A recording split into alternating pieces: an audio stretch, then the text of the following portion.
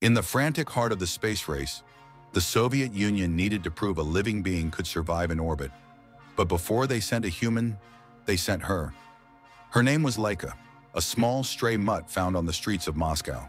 She was chosen for her calm demeanor and her resilience. She, along with other dogs, was subjected to brutal training, confined to smaller and smaller cages, and spun in centrifuges to simulate the crushing force of a rocket launch. On November 3, 1957, she was sealed inside the Sputnik 2 capsule. It was a one-way mission. The technology for a return trip did not exist, and everyone knew it. Laika was being sent to die for the sake of progress. The world watched in awe as Sputnik 2 successfully launched into orbit. For a brief time, Laika became the first living creature to see the Earth from space, a lonely pioneer in the silent darkness. Initially, the Soviets claimed she survived for several days, but the truth, revealed decades later, was far more tragic.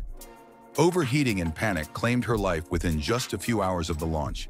She was a sacrifice on the altar of science, a stray dog who became an eternal symbol of the immense costs and ethical questions of our journey to the stars.